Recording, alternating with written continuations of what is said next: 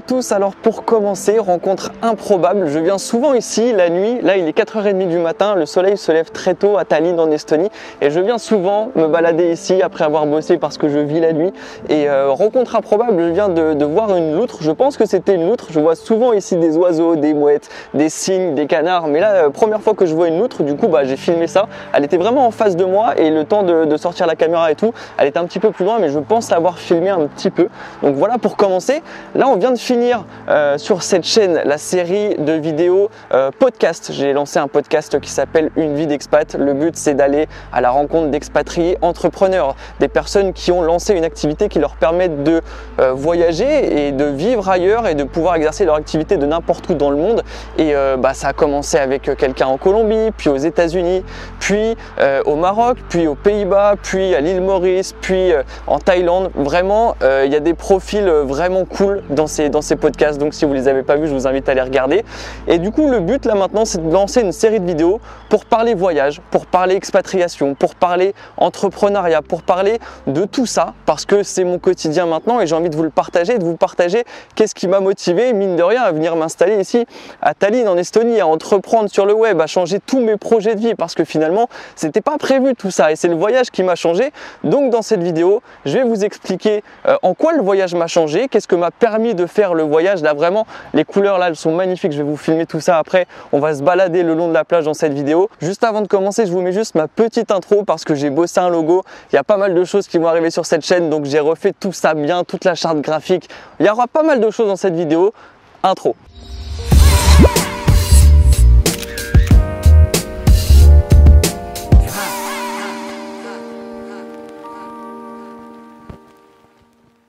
Alors ce qui est marrant, c'est que mon histoire avec le voyage, elle commence avec ce road trip de 4 mois en sac à dos en Asie du Sud-Est. Et ce voyage, je le fais parce que j'en ai besoin pour valider mon diplôme. Je dois avoir une expérience à l'étranger pour mon master. Et honnêtement, je n'aurais jamais fait ce voyage si il n'y avait pas eu le diplôme derrière, l'école, la scolarité. Et je me dois d'être honnête avec vous, ces personnes qui partaient à l'autre bout du monde, que ce soit en Asie, en Amérique du Sud, parce que souvent c'est les deux destinations qui reviennent pour ce type de voyage, qui partaient en sac à dos, qui partaient en road trip, ces personnes-là, m'insupportaient parce que bien souvent, quand elles rentraient en France, elles étaient là à dire Ouais, ce voyage il m'a totalement changé, ma vision de la vie a été bouleversée, je vois plus du tout les choses comme avant. Et je trouvais ça ridicule, vraiment, en tant qu'étudiant que j'étais, avec les projets de vie que j'avais, de carrière et tout, je trouvais ça ridicule. Pour moi, ces personnes-là, c'était des personnes qui se baladaient en Sarwell, qui étaient un petit peu déconnectées du système et qui étaient un petit peu perdues dans leur vie en fait, finalement. Et quand à mon tour, je fais mon road trip en Asie, à la base c'est pour les études, mais en fait, très vite, ça va chambouler tous mes projets de vie. Et finalement, bah, ce mec en Sarwell qui voulait tout plaquer, bah, c'était moi. Bon après sur ces photos si j'ai un Sarwell c'est parce qu'on était dans un temple et que c'était obligatoire mais globalement mon voyage en Asie de 4 mois ça ressemblait à ça. Bon sinon le soleil s'est levé à Tallinn et on commence à avoir vraiment de belles couleurs sur la mer Baltique. Voici un peu la vue actuellement. Franchement, c'est toujours un régal de se balader le long de la plage. On va continuer, on va continuer cette vidéo et on va continuer à se balader autour de la mer Baltique. En fait, le voyage, ça a été une sensation de liberté à tous les niveaux. Découvrir des choses et faire de nouvelles activités tous les jours, aller de ville en ville et de pays en pays, louer un scooter et aller se balader où on veut, pas de réveil, pas de patron, pas de contraintes. Et surtout, je pouvais mener les projets que j'avais envie de mener et pour lesquels je prenais un plaisir fou. Et moi, mon projet, c'était de créer du contenu. Je voulais partager mon voyage dans son intégralité. Je voulais montrer les endroits que je visitais, les activités que je faisais, les plats que je mangeais, les personnes que je rencontrais. C'était un voyage vraiment intense. Ça a été l'expérience la plus intense de ma vie à vivre. Mais au-delà de ça, le partager, c'était un plaisir fou parce que j'avais vraiment l'impression de faire quelque chose euh, d'utile, de contribuer à partager des connaissances, à partager mon expérience, à partager mon vécu. Et je sentais vraiment que j'étais en train de créer une communauté, que des gens me suivaient. Alors, c'est tout petit au début, c'est tout petit. Au début, tu fais 50 vues par vidéo et t'es content. Et en plus, c'est une vidéo par jour, donc t'enchaînes, t'enchaînes, t'enchaînes et tu te rends pas compte en fait de l'ampleur que ça prend petit à petit. Et à la fin, il y a des centaines de personnes et en fait, c'est trop cool parce que bah, ce que tu as créé, c'est une vraie communauté autour de ta thématique. Alors forcément, quand ce voyage commence à toucher à sa fin, que tu t'apprêtes à rentrer en France pour rentrer dans la vie active et potentiellement passer 40 ans de ta vie dans la même boîte à bosser dans un bureau, bah tout ça, ça fait flipper et tu remets tout en question. À partir de là, il y a deux choses. En fait, d'un côté, c'est cool parce que je sais que ce que je veux, c'est voyager, ça m'anime profondément et je profite de chaque minute de ce voyage. Mais d'un autre côté, quand tu rentres en France et que tu dis à tes parents, que tu dis à ton entourage qu'après avoir validé ton bac plus 5, bah finalement, je vais pas aller m'installer à Paris,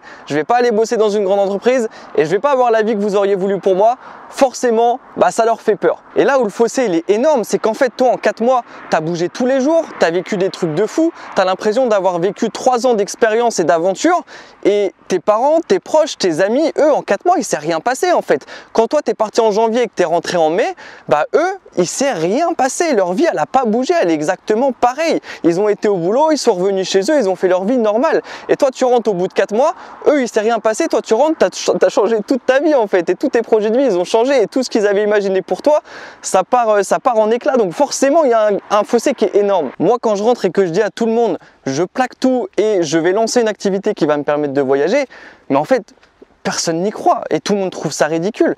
Et c'est normal en fait. Tu pars pour valider ton diplôme, tu reviens, tu as foutu tous tes projets de vie en l'air. Qui peut croire en toi? Mais en fait, c'est à ce moment-là qu'il faut croire en toi absolument.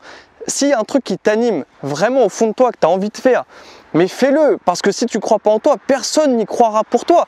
Personne ne va te soutenir dedans et c'est normal parce que tu n'as encore rien accompli.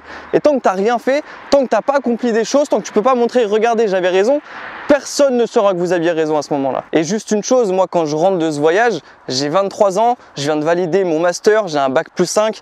Honnêtement, je prends aucun risque à tout plaquer et à me lancer dans une activité qui me passionne au plus profond de moi et dans laquelle je sais que je vais prendre du plaisir même si ça échoue. Même si ça échoue, bah mon diplôme je l'ai, mon master je l'ai et il n'y a pas de, y de souci quoi. Le seul risque que je peux prendre, c'est de ne pas tenter l'aventure et d'avoir des regrets plus tard. Bon, ça, c'est le beau discours parce qu'il faut quand même trouver une activité qui te permette de t'organiser comme tu veux, de travailler d'où tu veux, de gagner assez d'argent pour vivre, mais aussi pour financer tes voyages. Donc sur le papier, ça paraît quand même utopique. Moi, à ce moment-là, je passe ma vie sur YouTube à essayer de trouver une idée, à regarder des vidéos de personnes qui t'expliquent que c'est possible, qu'on peut changer de vie, qu'on peut organiser sa vie comme on le souhaite, qu'on peut voyager quand on le souhaite, comme on veut, en ayant une activité qui nous permette de le faire.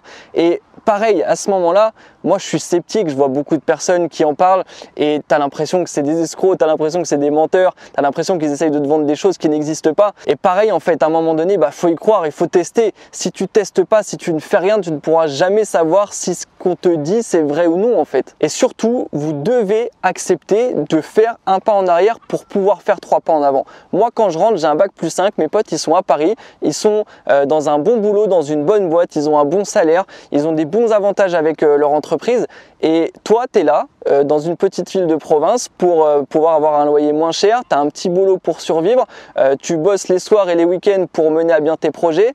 Tes projets, bah forcément ça prend du temps, tu testes des choses, tu échoues, tu recommences, tout ça ça prend du temps et tu même pas sûr d'y arriver donc forcément tu te poses des questions.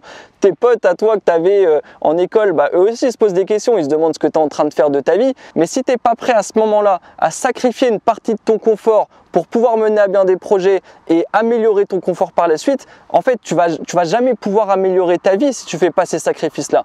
Et moi, à un moment donné, bah, ça a payé, ça a payé et ça m'a permis de faire tout ça aujourd'hui. Et vraiment, quand on regarde les semaines que j'ai passées à bosser, bah, franchement, sur le papier, ça faisait pas rêver ma vie. Mais aujourd'hui, eh bien, j'ai le choix de m'organiser comme je veux, de faire mes journées comme je veux et de travailler, d'être libre et de pouvoir voyager. Alors, on va espérer que les frontières se réouvrent un moment, mais aujourd'hui, je peux m'organiser comme je veux. En fait, quand tu es dans le confort du salariat, tu peux pas te plaindre de voir d'autres personnes réussir et gagner en liberté, gagner en niveau de vie, en style de vie, si toi-même t'es pas prêt à faire ces efforts-là, de faire un pas en arrière pour pouvoir faire trois pas en avant, au risque que ça échoue. Mais si tu ne le tentes pas, tu, peux pas te plaindre en fait. Bon, ce que j'ai fait, c'est que j'ai continué à marcher pour finir cette vidéo dans un endroit que j'aime beaucoup à Tallinn. C'est un petit port où il y a pas mal de canards d'ailleurs. Il y avait un canard avec ses bébés là-bas.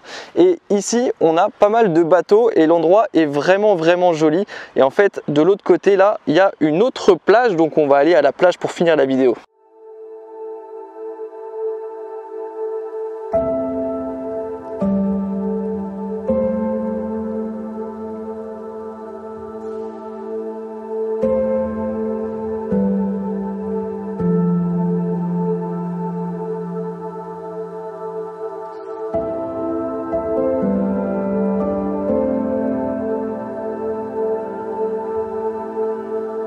Cette plage elle est vraiment cool parce qu'en fait quand on arrive à gauche on a la mer Baltique et à droite on a cette immense forêt de pins qu'on peut longer sur plusieurs kilomètres le long de la plage et on a des paysages juste incroyables. Je pense que cet endroit fera l'objet d'une vidéo à part entière parce que vraiment cet endroit est génial et vraiment hein, comme vous pouvez le voir l'Estonie, Tallinn c'est juste magnifique. La qualité de vie est top. On s'y sent vraiment bien avec Marion depuis qu'on est installé ici. D'ailleurs Marion elle n'est pas dans la vidéo, elle n'a pas été dans le, dans le podcast mais parce qu'elle lance aussi son propre On aura l'occasion d'en reparler, mais Marion aussi, elle taffe en ce moment euh, et, vous en saurez bientôt plus. En tout cas, voilà ce qui nous a permis de venir s'installer ici, c'est le fait d'avoir développé une activité qui nous permette de bosser de n'importe où. Et cette activité, si vous n'avez pas suivi, donc c'est que je me suis lancé dans l'auto-édition, j'ai écrit des livres, j'ai vendu des livres, ça m'a permis d'en vivre assez rapidement. Et même si c'est arrivé rapidement, le, succès de cette activité, bah, ça a quand même pris du temps de la trouver cette activité. Et comme je vous disais, j'ai passé des centaines d'heures sur YouTube avant de tomber là-dessus et de, me, prendre de passion pour ce sujet. Et voilà, encore une fois, si vous avez des projets, c'est normal que ça prenne du temps. Moi, une fois que j'ai réussi là-dedans, je me suis lancé encore dans un nouveau projet après, qui a été de créer une nouvelle chaîne YouTube autre que celle-ci, pour parler de l'auto-édition, pour aider les gens dans l'auto-édition et accompagner d'autres personnes à faire ce que j'ai fait et à vivre de leurs écrits. Et aujourd'hui, ça marche aussi, mais pareil, j'ai encore tout repris de zéro. J'ai lancé une chaîne YouTube de zéro. Et encore une fois, bah, c'est la création de contenu qui m'a permis de créer une communauté et de créer des formations, des produits pour aider les gens. Et tout ça, c'est des vidéos en fait, c'est des vidéos YouTube, c'est des vidéos pour les formations. Et c'est fou la puissance que ça a tout ça. Donc vraiment, le message que j'ai à vous faire passer dans cette vidéo, c'est d'abord, si vous avez des projets, croyez en vos projets, croyez en vous, lancez-vous parce que vraiment personne ne vous attend, personne ne, croira en vous à votre place si vous ne le faites pas et ce serait vraiment trop dommage d'avoir des regrets. Et mine de rien, moi ce déclic, je l'ai eu avec le voyage donc je serais vraiment intéressé de savoir si de votre côté vous avez vécu un voyage qui vous a vraiment changé et pourquoi il vous a changé et comment il vous a changé. Je serais vraiment intéressé que vous me disiez ça en commentaire. Sinon, si tout ce que je vous ai dit dans cette vidéo ça vous parle, j'ai créé mon site internet qui s'appelle clémentherbez.com, mon prénom, mon nom.com. Le lien est en description et ce site, le projet, c'est d'accompagner toutes les personnes qui veulent se lancer dans la vidéo ou s'améliorer en vidéo. Que ce soit pour les personnes qui veulent créer une chaîne YouTube, que ce soit pour les personnes qui veulent donner de la visibilité à leur projet, que ce soit pour animer des réseaux sociaux, que ce soit pour créer une communauté autour de leur thématique. Bref, toutes les personnes qui sont intéressées par la création de contenu vidéo, allez sur ce site. Je suis en pleine rédaction d'un guide pour les créateurs de contenu photo et vidéo. Ce guide, il va être gratuit. Ce sera un ebook sous format PDF pour vous aider à vous lancer comme quand moi je me suis lancé. Pour l'instant, le guide il est en écriture mais il est bientôt disponible. Donc si vous allez sur le site, vous pouvez rentrer votre adresse mail et vous serez tenu au courant dès que ce guide est disponible. Je vous enverrai un mail et vous pourrez le télécharger gratuitement. Donc d'ici là, on va comme d'habitude sortir la vidéo le dimanche à 10h. Comme d'habitude là, euh, bah, on y est bientôt hein, le dimanche 10h. Je tourne la, vidéo dans la nuit de samedi à dimanche. Donc la vidéo va bientôt être postée et tous les dimanches à 10h, il y aura une nouvelle vidéo sur ces sujets, que ce soit le voyage, l'expatriation, l'entrepreneuriat ou la création de contenu. Donc on se dit à la semaine prochaine.